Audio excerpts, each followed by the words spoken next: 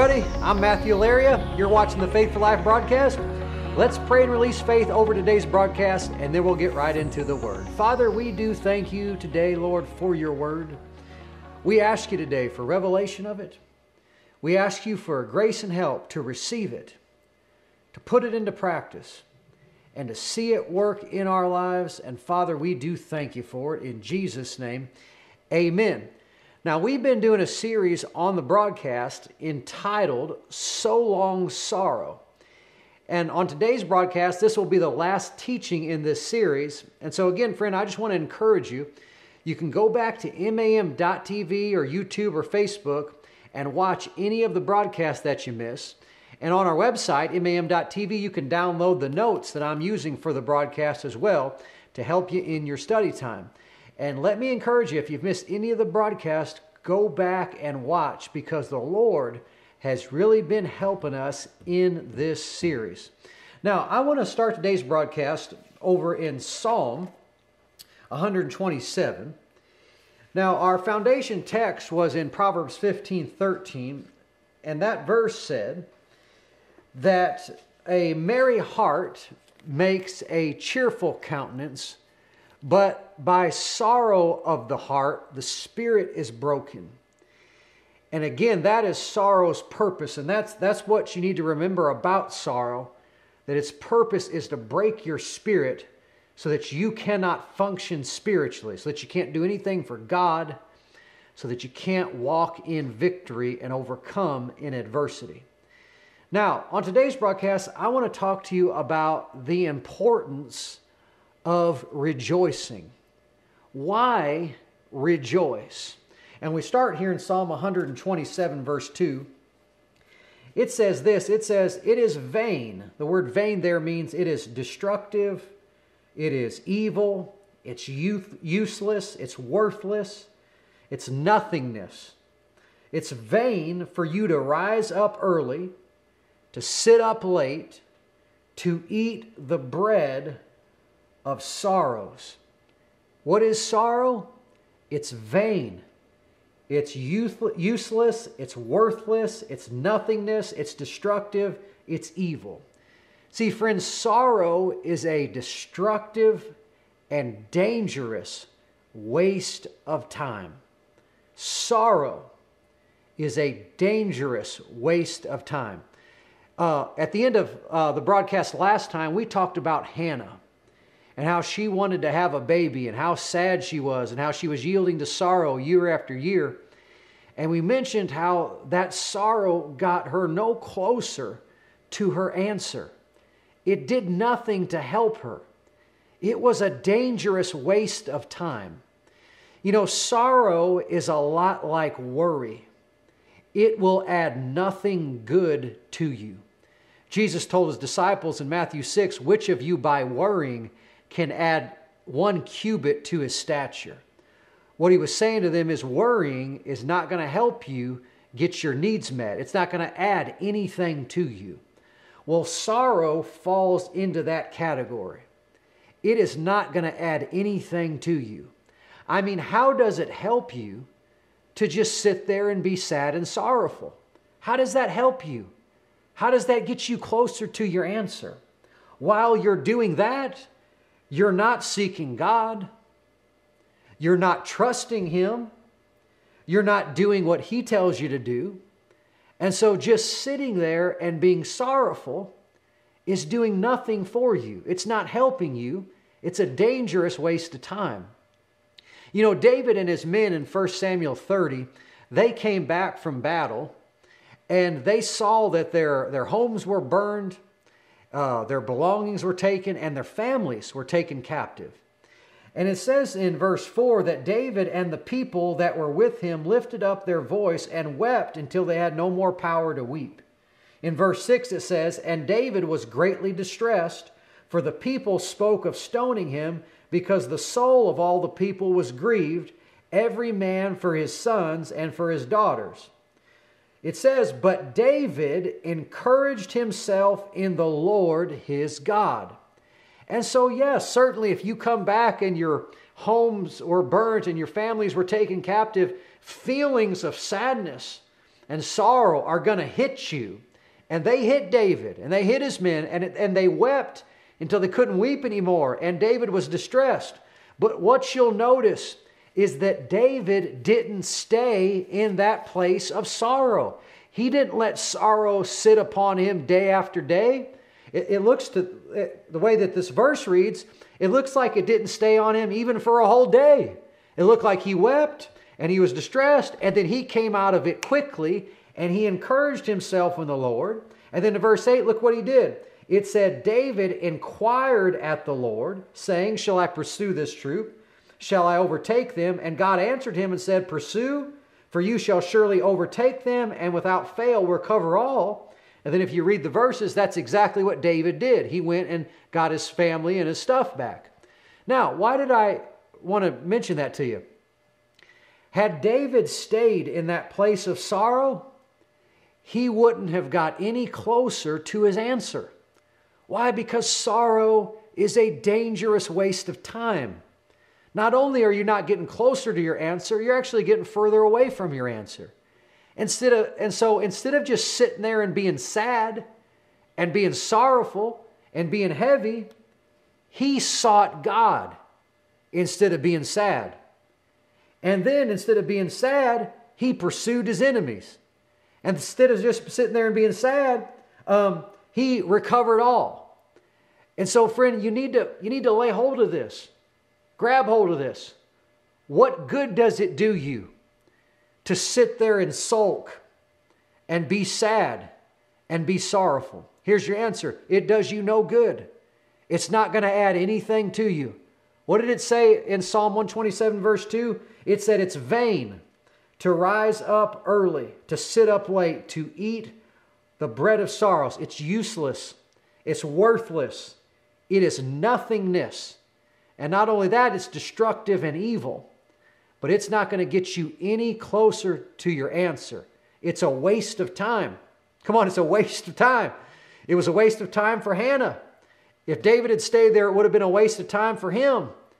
And so sorrow is a dangerous waste of time. Now, um, I want to talk a second about that reality of it being dangerous. We just, in the first part of that broadcast, this broadcast, we were talking about being a waste of time, how it won't add anything to you. But it goes beyond that. It's not just a waste, waste of time, it's a dangerous waste of time. And why is that? Because when you yield to sorrow, when you let it sit on you and rest upon you, what's happening is it's working its way into your heart. And what it wants to do, again, mentioned to it, mentioned, uh, mentioned it to you many times in this series.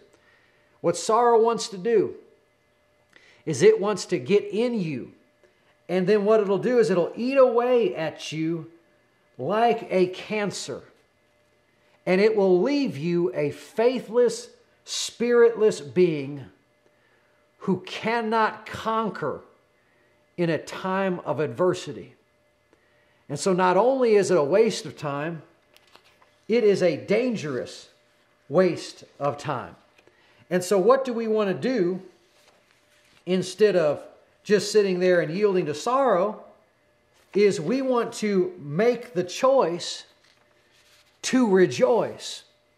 And why is that? Because in adversity, one of the worst things you can do is just sit there and yield to sorrow. Forgive me, I'm, you can tell I'm looking through notes here. uh, one of the worst things you can do in a time of adversity is just sit there and yield to sorrow. And the reason why is because sorrow will break you down on the inside so that you can't overcome the adversity that you're facing. Um, the natural response in a time of adversity is to go low and to be sad and to be sorrowful. But, friend, if you do that in adversity, the sorrow is going to break your spirit. And so, with a broken spirit, how can you overcome that adversity? The answer is you can't. In Proverbs 18 14, it said, The strong spirit of a man sustains him in bodily pain or trouble. And so, the only way to, to overcome trouble is to have a strong spirit. But if when the trouble comes, you go low and get sad and yield to the sorrow, then you won't be strong to overcome the trouble. And so you can see what the enemy is after there. And so this is one of the big reasons that you and I rejoice. We rejoice because it keeps us strong on the inside. It keeps us able on the inside to overcome adversity. And that's why one of the worst things you can do in adversity is yield to sorrow and sadness. Because what it's going to do next is it's going to weaken you inside and make it impossible for you to overcome. And so what we, this is one big reason why we rejoice, keeps us strong on the inside. You know, the scripture makes connection between joy and strength and between sadness and weakness. Let me read you a few verses. Jeremiah 49 24 says this Damascus is waxed feeble and turns herself to flee, and fear has seized on her, anguish and sorrows have taken her. And so, do you see the connection? Sorrows took her. She was waxed feeble, that means she was weak, and she fled from her enemy. That's defeat. See, all those go together. What was it? It was sadness, they, that sorrow had taken over her. Then what, what was next? Waxed feeble. See, that's what sorrow does, it makes you weak. And when you're weak, what do you do? You flee, you can't overcome. Let me read it to you again. Damascus is waxed feeble, turns herself to flee. Fear seized her, anguish and sorrows have taken her. You see the pattern there.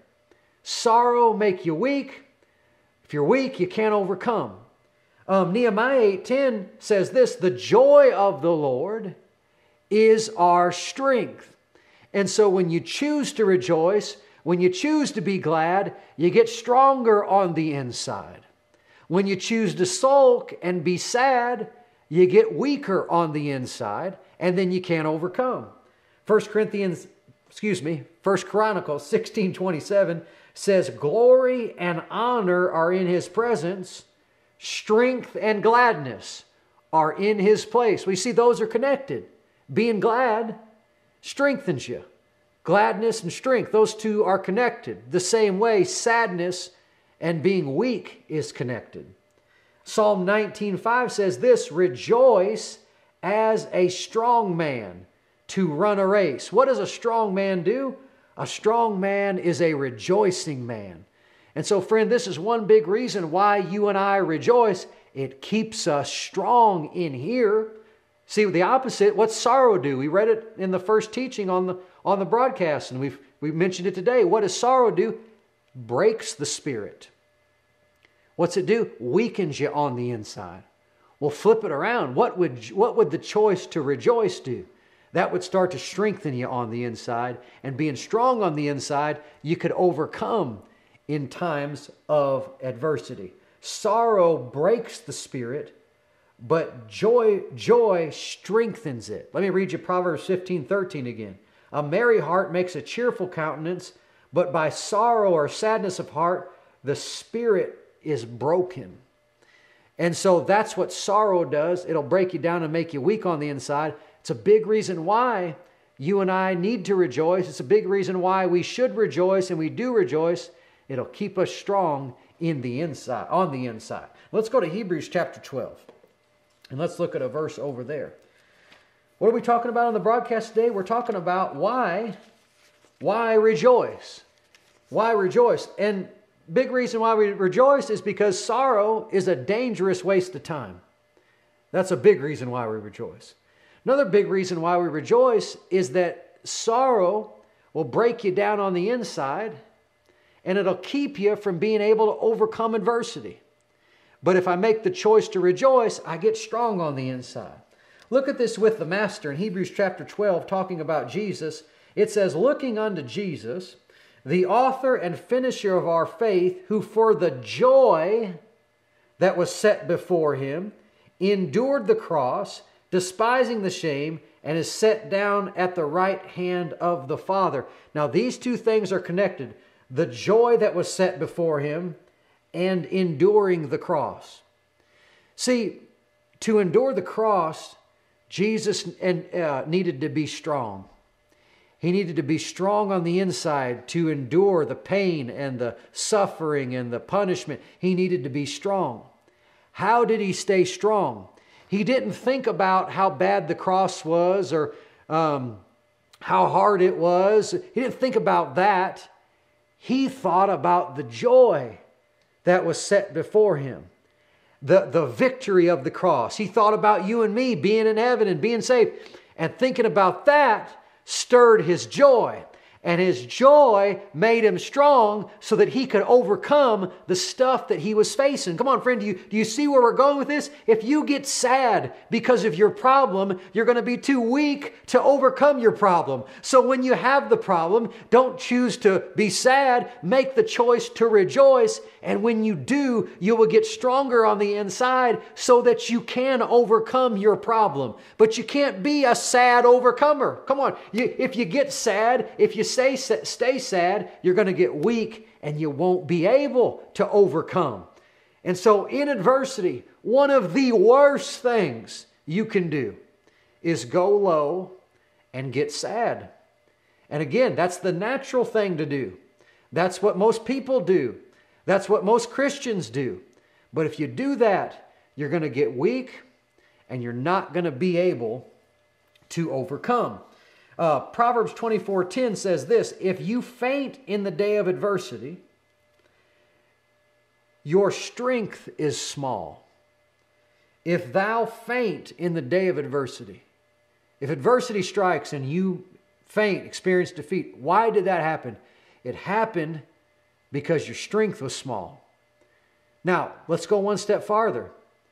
But why was your strength small? Now, there's a lot of things that can make you weak, but we're talking about joy and sorrow on the broadcast now. But if you faint the day of adversity, it's because your strength is small. Well, why was your strength small? Well, here it is. People fail in times of adversity because they get weak. That's why they fail. They get weak. They don't persevere. They quit believing. They quit standing. They quit, quit continuing in the Word. And one of the big reasons they get weak is because they get sad and sorrowful and they don't make the choice to rejoice. One of the big reasons why people get weak in adversity is because they get sad. And if you get sad, you get weak. And if you get weak, you can't overcome. And so when it's bad, you need to make the cho- choice to rejoice so that you can be strong and overcome the bad that you're facing. Remember in Job 5:22 we read it uh, a couple broadcasts ago at destruction and famine you laugh. Well why? Because if I laugh at it, I'll be strong to overcome it. If I get sad because of it, I'm going to get weak and I won't be able to overcome it. And so a big reason why you and I rejoice is to stay strong on the inside. Praise the Lord. Let me give you another reason why we rejoice. Um, another big reason why we rejoice is because of our faith. See, friend, when you believe God's going to do something good in your life, you're not sad about it, you're happy about it, and you rejoice. And our joy and our rejoicing is an expression of our faith. In 1 Peter 1, uh, verse 8, it says this talking about Jesus, whom having not seen, we haven't seen him, we love him, in whom though now you see him not, yet believing, you rejoice with joy unspeakable and full of glory. And so these two are connected believing and rejoicing. When I'm in faith and expecting God to do something good in my life, one way that it'll show up is that I have some joy about me. I have some rejoicing about me. I'm not low and sad and down because I believe God's going to do something good. And so I'm up and I'm full of joy. Romans 15 13 talked about how the God of hope would fill us with all joy and peace in believing. And so, one of the marks that you are actually in faith is that you have some joy about you. You have some peace about you. Um, Joel 2, chapter 21 says this Fear not and be glad. I'm sorry, fear not, O land. Be glad and rejoice. Why? For the Lord will do great things. And so, if you believe the Lord's going to do some great things, you'll rejoice now and be glad now before the great things are there. Why? Because you know they're coming. And, and so I'm up and I'm happy. Praise God. And so, if you know if you got bills to pay or believe in God for some financial needs to be met, and you know He's going to come through, come on, prop the corners of your mouth up, right? I mean, put a smile on that face, brighten up, because God's going to move in your behalf. And so, this is another big reason for our joy and rejoicing. It is our faith. And when you're in faith and you have faith in God, joy is one of the things that shows up. Your joy tells the story about your faith. And to be joyless, listen closely, friend, to be joyless is to be faithless. I, need, I know it's simple. I need to say it to you again. To be joyless about your situation that you're facing. What that means is that you're faithless. Little joy means little faith. And what little faith will do, it'll do to you the same thing it did to Peter. It'll put you in the water ready to drown. That's what little faith does. And so make the connection between am I trusting God? Am I in faith? What's one way I can check it? Where's my joy at? And if my joy is low, then I'm not trusting Him as much as I think I may think I am. And if I am trusting Him, what will happen is it'll start to bump my joy up. Why? Because I believe God's going to do something good in my behalf. And so, an expression of that belief and that faith is I, I'm bright, I'm up, I'm happy, I'm joyful because God's going to move in my behalf. Praise the Lord. Um, in uh, Acts chapter 27, we're running out of time here, but I'll mention this to you. Uh, the Apostle Paul was on a ship with some men, and uh, he said this to him in verse 22. Uh, they were had been stuck in a hurricane, and it looked like they were going to die. And he said, Be of good cheer, for there shall be no loss of any man's life among you, but of the ship, that we're not going to lose any life, but we're going to lose the ship. He said, For there stood by me this night an angel of God, whose I am and whom I, whom I serve, saying, Fear not, Paul, you must be brought before Caesar, and lo, God has given you all them that sail with you. Paul said, Therefore, sirs, be of good cheer, for I believe God that it shall be even as it was told to me. What, what did God say to Paul? Now they're in the hurricane right now when he's saying this to these guys. In the hurricane, Paul hears from God, and God says, You're not going to die, you're going to make it through. And so Paul comes to the guys, and he says, Guys, cheer up. We're, God told me we're going to make it through. We're getting through this. And so they were glad before it got good. Why? Because they had faith in God that God was going to make it good. They're cheering up based on something God said to them that they don't see yet because of their faith in Him. All they have is God's word on it. And Paul says, Cheer up. Why, why, was Paul so cheery? And why was he telling them to cheer up? Because he had faith in God. They were not going to be taken out by this hurricane, but they were going to make it through. Praise the Lord. Now, I want to close uh, the broadcast and the series by going to Proverbs chapter 17, and I want to look here at verse 22.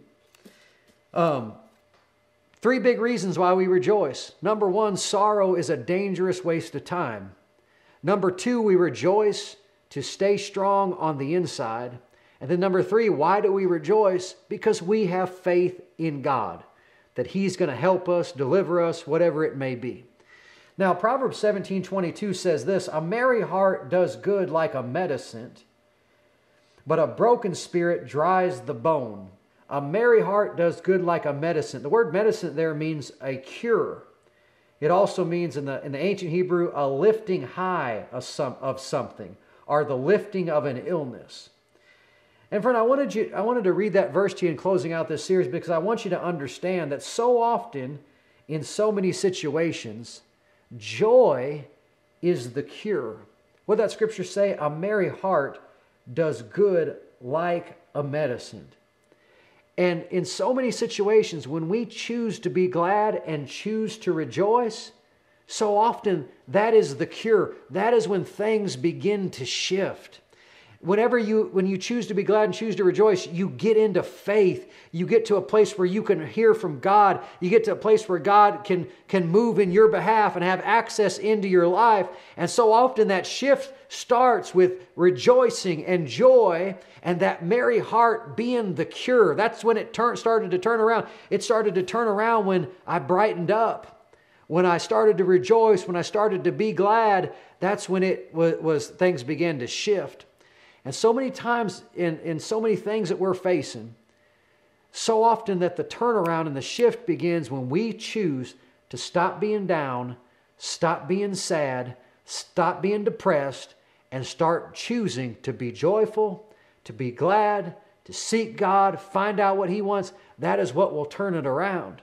I like how that verse said that it's a, it's a medicine.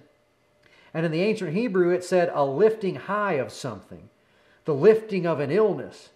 And friend, things that try to hurt you can be lifted through a merry heart, through joy and rejoicing, problems and, and challenges and addictions and sicknesses, and these things will be lifted off of our lives as we uh, choose to rejoice, choose to be glad.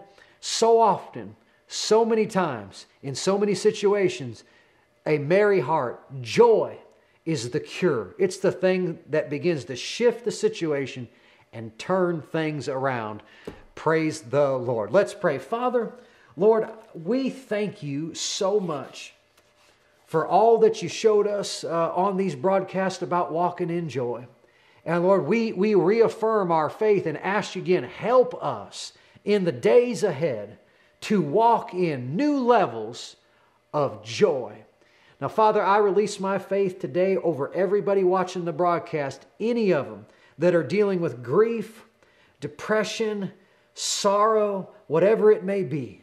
Lord, I thank you that you are moving in their behalf, helping them to make the choice to rejoice, helping them to choose to be glad. And I declare over their life that they are coming out of grief they are coming out of depression. They are coming out of sorrow and they are entering into new levels of your joy that they've never experienced before. And Father, I do thank you for it in Jesus' name.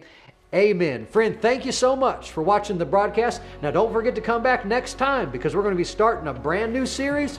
I don't know what it is yet, but it's going to be good. So don't forget to join us. We'll see you then.